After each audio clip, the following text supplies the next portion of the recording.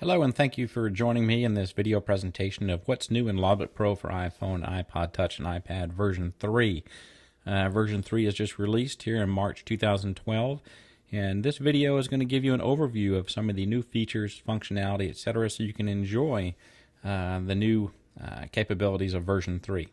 We're looking at an iPhone simulator and uh, which should give you the uh, same presentation you'll see on your iPhone um, and obviously a little uh, larger if you're using the iPad.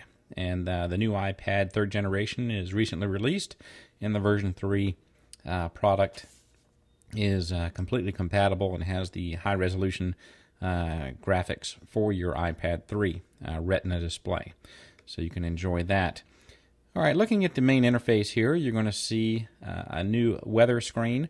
The capability to check METAR and TAF on airfields. We'll go over that and uh, you're going to see a Facebook Connect. Logbook Pro version 3 for your iPhone and iPad has social networking integration, both Facebook and Twitter. So we'll talk about that uh, momentarily. All right, let's uh, first take a look at the uh, first major new feature, and that is in the settings area, uh, we have brand new time zone integration. Previously, you had in the settings flight log area a use GMT option at the top. Uh, with that on enabled or on, uh, your out, takeoff, landing, and in fields uh, would be uh, entered and presented in UTC. With that in off, it would be presented in the local time zone where you exist. Uh, such as uh, if you're in California, your iPhone um, is going to be uh, automatically change to the time zone where where you reside. Um, so if you go flying across to the East Coast, your time zone is going to change. So that local time uh, is going to change based on where you are. So we totally revised the time zone integration within the application. And let me preface this that the time zone integration only affects out, takeoff, landing, and in fields. Um, in the airline industry, they call them OOI fields, O O O I, out, off, on, in. Uh, but general aviation, you might be using your takeoff and landing fields. Um, if so, then this section applies to you. Um, if you do not log takeoff and landing times or out and in times, then the times integration has no effect. The time zone, so the main settings screen is where you're going to find the time zone integration now. So let's tap time zone and you'll see that we now have three options for time zone integration. What we call device local, and the reason we term it device local is because it's the local time zone uh, that the device is using. All right, so like I mentioned earlier, you could be in California, you can be in Europe, you can be in the East Coast, uh, Central Time, wherever your device is, that is the local time it's going to use. Now you can also uh, change to UTC. Uh, so no matter where you are, the uh, times input and viewed for those four fields out, takeoff, landing, and in are going to be hardwired to UTC. Now, the database, the data storage for the app, everything is stored at UTC. So we're simply converting our stored data to either your local time or a custom time zone, which I'll show you in a second. All right, so uh, with UTC, you're going to see your actual raw data as UTC. Now, the new feature here in version 3 is we give the ability to set a custom time zone. Uh, in the airline industry, sometimes this is called a domicile uh, time zone. So you can actually put the app, hardwire the app into any time zone you want. So if you want to do that, you know, if you don't want to use device local or UTC and you want to think in one set time zone all the time, tap custom. You're going to see a little wait, uh, please wait message appear while the time zones are populated. And then you can see how um, Apple's iOS breaks down time zones by these major regions. Uh, so we've got America, you know, Atlantic, Australia, Europe, Pacific. So I'm going to go ahead and tap America. And now you can see the breakdown of the time zones, how iOS actually presents time zones to you. Um, and we also put in the UTC to help you determine what's best. So pick the major city that's nearest you. Since we're on the East Coast, uh, New York is the time zone So let's continue to scroll on up, and there you can see New York. So that's the Eastern time. And this UTC value also takes into account daylight savings time. Since this is March, it's UTC minus 4. If I was looking at the screen in December, it would show UTC minus 5. So the application is aware of daylight savings time based on the current date and time. Um, and this should be the same time zone. You know, if you want to hardwire to your domiciled time zone or where, where you normally live, um, you'll also see that you're, if you go into the uh, devices settings and date and time area, you're going to see that it's also going to show uh, New York uh, for my case here. So we can put the application into a custom time zone. Well, let's go ahead and make a flight entry, and we're going to look at how this uh, affects us. So let's go ahead and add a new flight. And we'll just pick our mighty Cessna 172 uh, just for an example. And we'll just put an aircraft of one, two, three, four. Tap next. And we're at RIC space space and that automatically puts in our hyphen as you can see in the background and we just we did that all right so we've got uh, one leg for the flight wow we did a landing all right now you can see that the time zone is recognized now like i said in december that would be edt since we're in daylight savings time it's est and then we give you a visual so you can see that local is UTC minus 4. So if I take local time and add 4 hours to it, that's going to give me UTC. So let's go ahead and enter a takeoff time of 11 o'clock. And then we'll come on down here and enter a landing time. Uh, so yeah, two hours. Well, let's go ahead and change that to uh,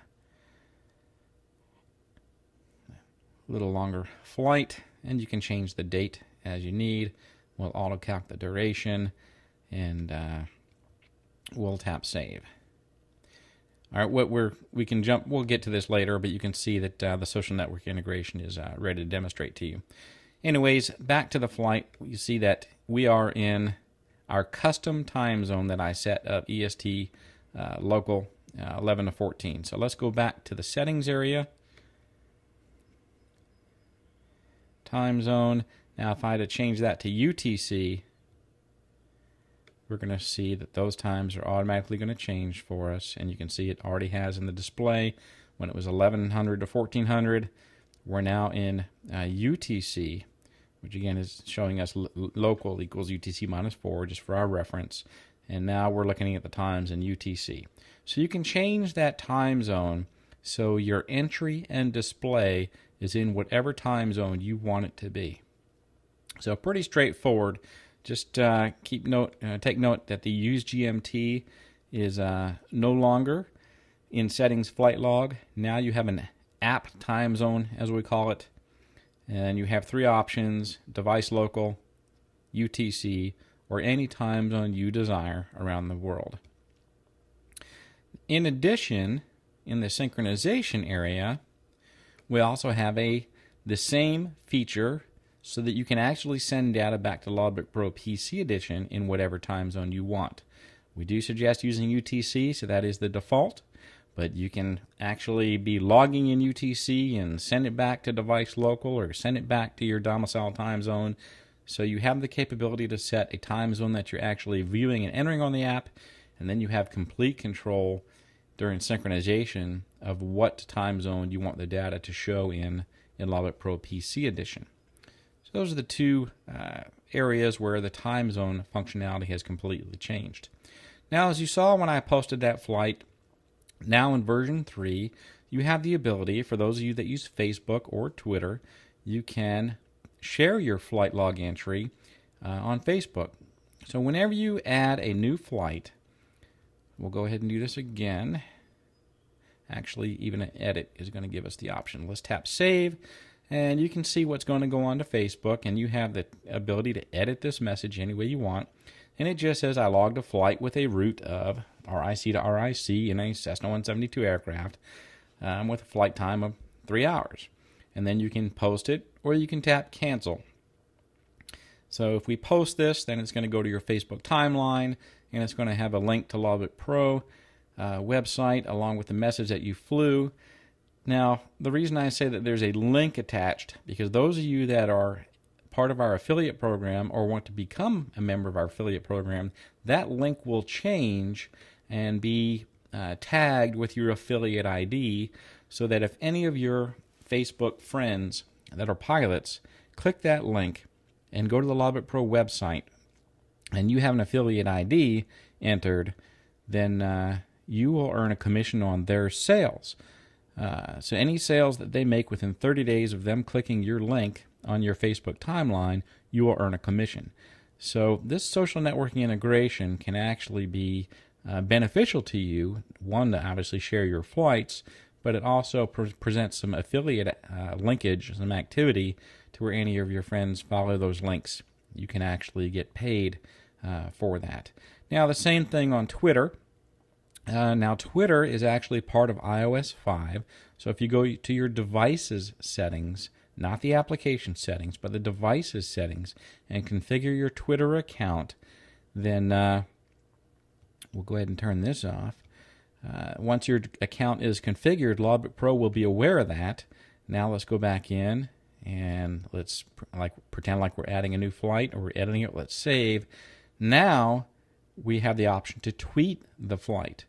So again, you can edit this content, flight logged from so and so to so and the type of aircraft for three hours using Logbook Pro. And you can see there's a link that's also embedded. It's a, a short, shortened URL, so it doesn't take much space in your post. But again, that can be affiliate embedded. If you have an affiliate ID entered, then uh, that link, if any of your Twitter followers follow that link, you will benefit from that from any of their sales within 30 days of following that link. Now, you can find more about our affiliate program at logbookpro.com forward slash affiliate. You can join, it's free for anybody to join. And uh, uh, please take a look at that web page. We have some exciting news coming out about our affiliate program here soon. You'll uh, receive that if you subscribe to our newsletter. So that's the social networking uh, integration. Now, you can also enable um, both uh, Twitter and Facebook. If you have them both enabled, we only allow you to post to one, not both simultaneously. If you have them both enabled, it will prompt you which one do you want to use for sharing this flight. And you can always cancel to opt out of sharing that information. And uh, if you don't want to post to uh, Facebook or Twitter, you can just turn them off.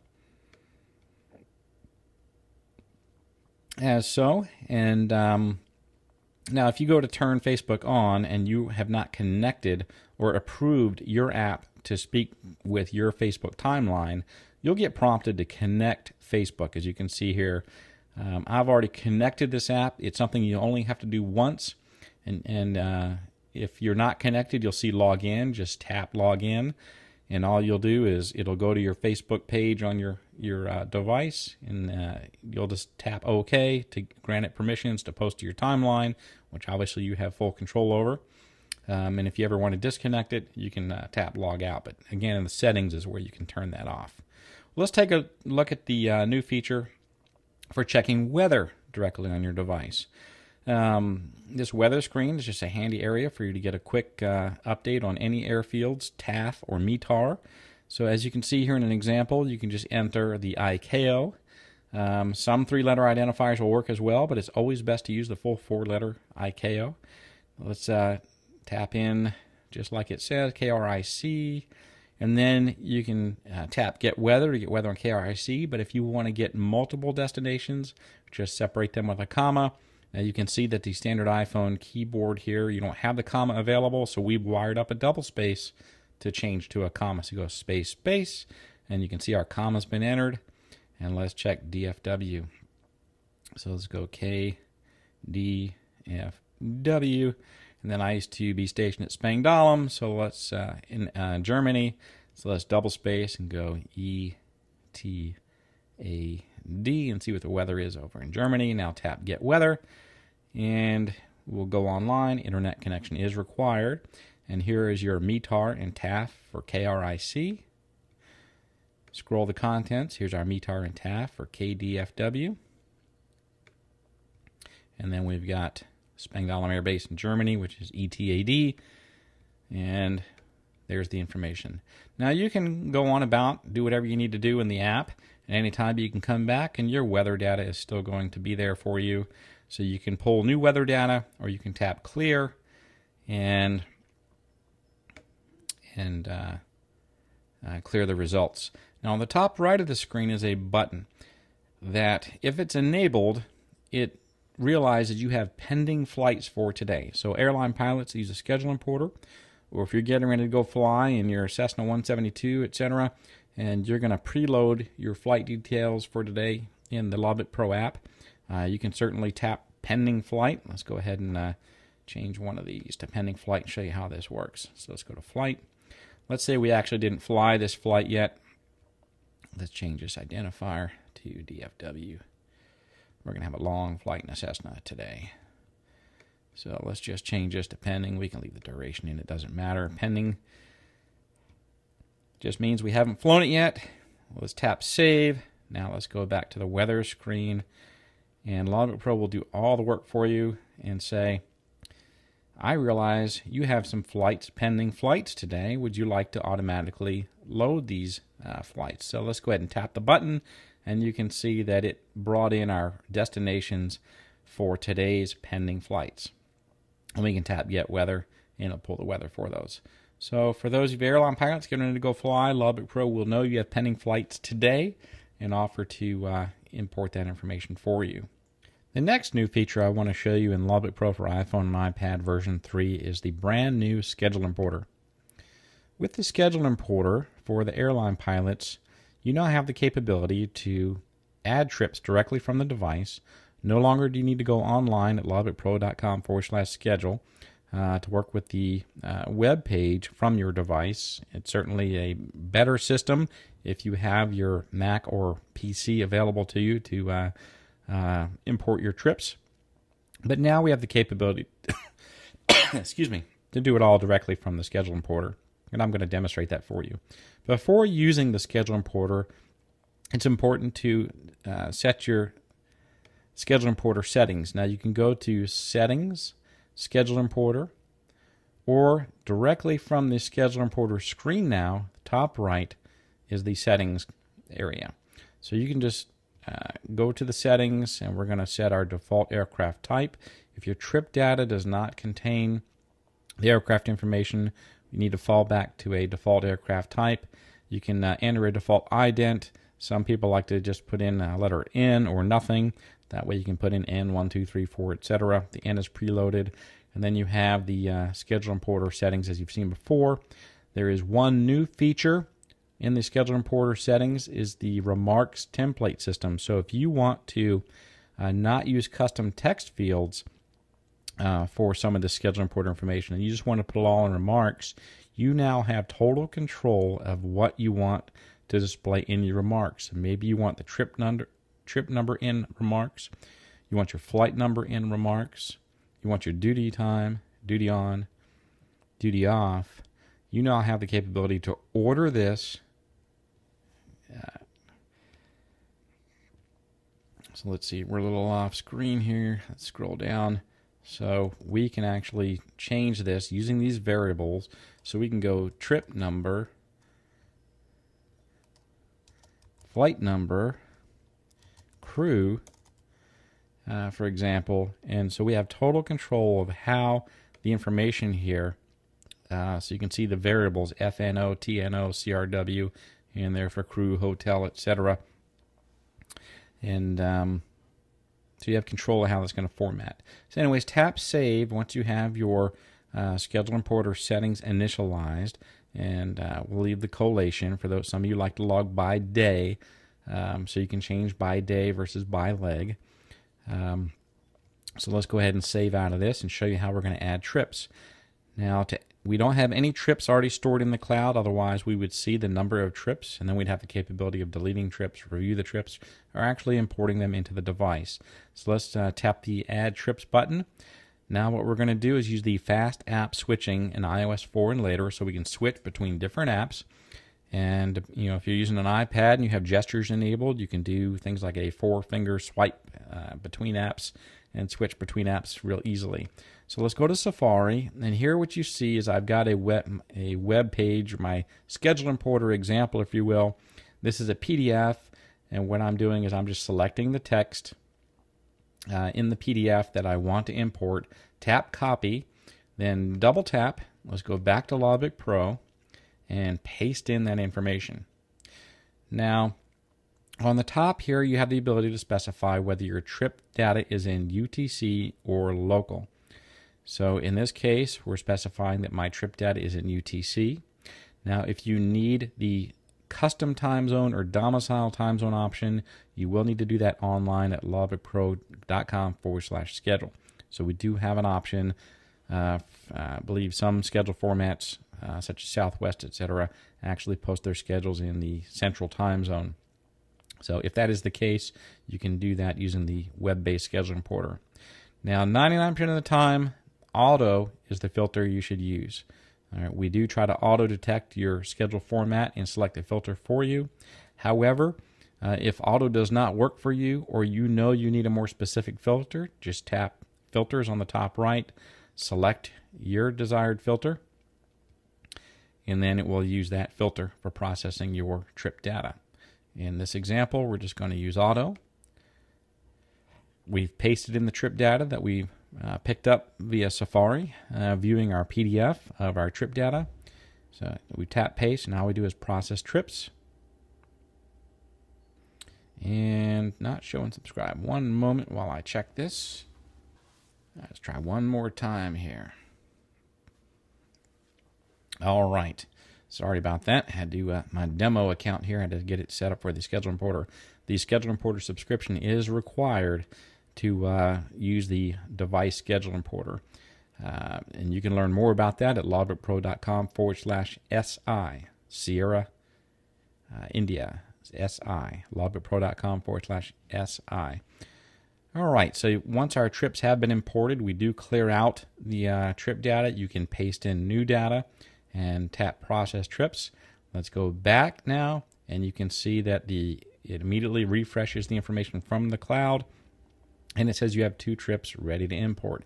Now we can you know delete selectively a trip, or we can delete all trips.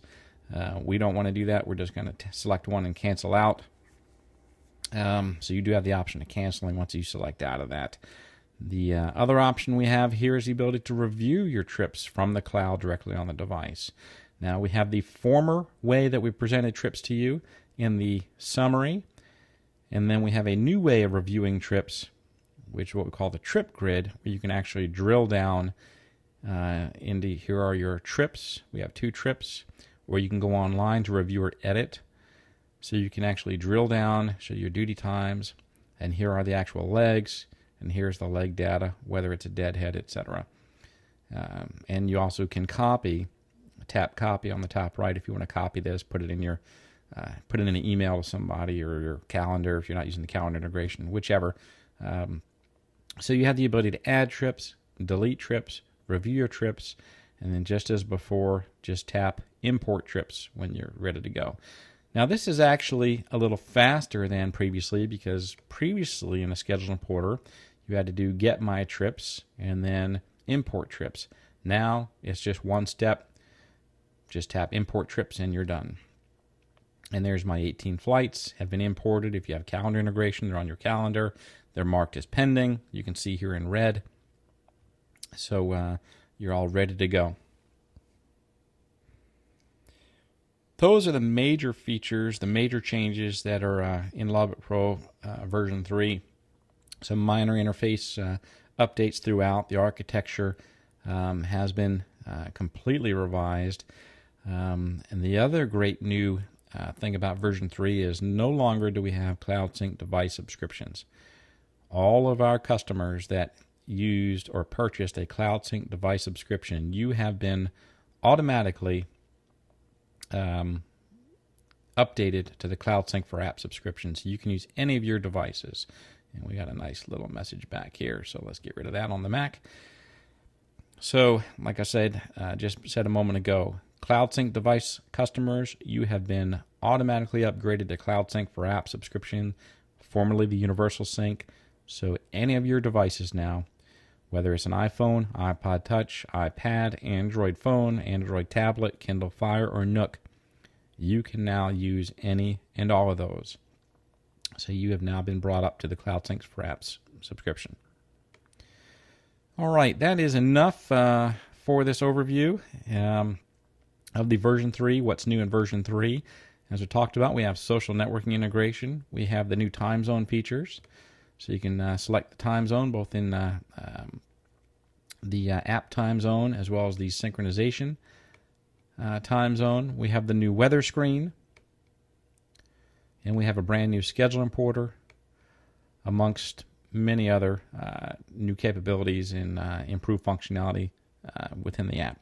If you have any questions, please visit us, visit us online at http colon forward slash forward slash helpdesk.nc-software.com, or you can click the contact button on the right side of the toolbar on our home page, and you can email us direct support at nc-software.com or sales at nc-software.com. And for those of you wanting to join our affiliate program and get commissions for your referrals and allow you to enter your affiliate ID, uh, you can visit us online at logbookpro.com forward slash affiliate. So visit us there, join our affiliate program. Then when you post to Facebook or Twitter, anybody follows your links, you will earn a commission on their sales if they purchase within 30 days of visiting your link. Thank you for watching this video roll up. We hope you enjoy your app on your iPhone, iPod Touch, or iPad. Have a great day.